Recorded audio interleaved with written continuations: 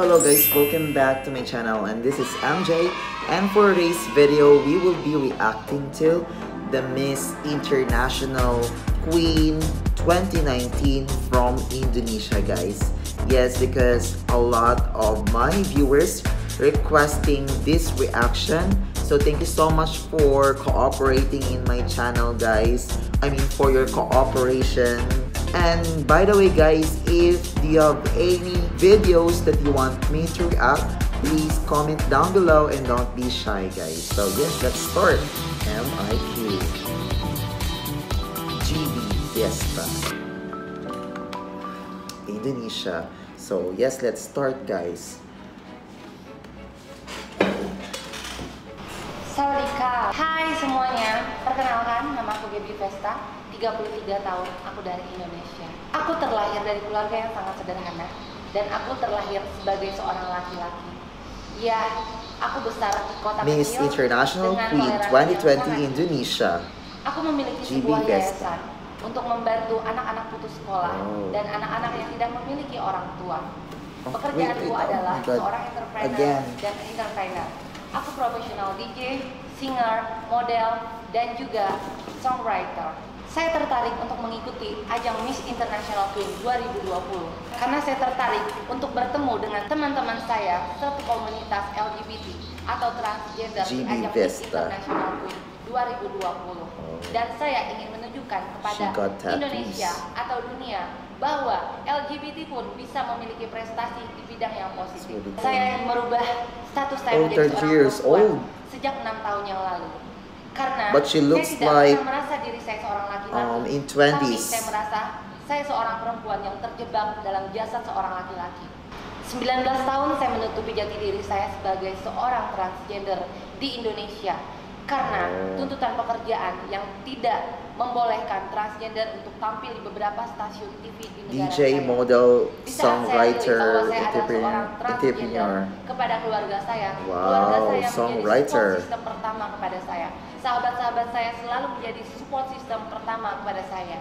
Di luar keluarga saya, banyak perlakuan yang tidak menyenangkan yang saya alami sebagai seorang transgender tapi banyak juga yang menjadi support system untuk saya yang mengakui bahwa saya adalah seorang perempuan. Ya, di saat itu saya merasa I like to saya change my gender since six years ago. come out dan speak up Oh. bahwa saya adalah seorang transgender. Di negara saya masih rasis tentang kesetaraan gender. Karena di Indonesia hanya ada perempuan dan laki-laki. Yeah, yeah. Saya percaya That's- dunia mengakui tentang transgender dan LGBT, tapi mungkin tidak di negara saya. Oh. Di saat saya terpilih untuk mewakili negara saya Indonesia di ajang Miss International Queen 2020, saya merasa It's sangat really hard that sebab ini adalah your country untuk saya pribadi dan not banyak open teman-teman saya transgender kaum LGBT untuk di ajang Miss International Queen.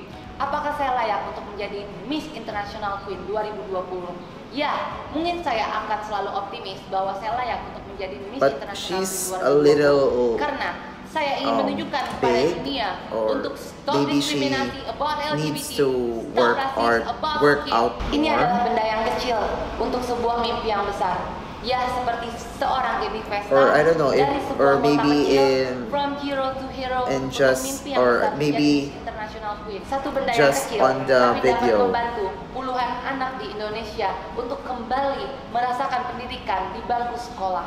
I am Gaby Vesta. I want to do the world for stop racism about skin, stop discrimination about gender, and now not just for competition, not just about crown, but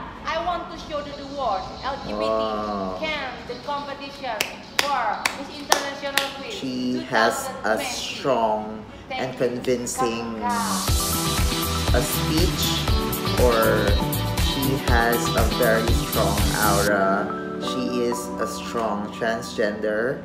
So hoping for her success in Miss International Queen 2020 guys. So yes what what can you say about her? So please comment down below.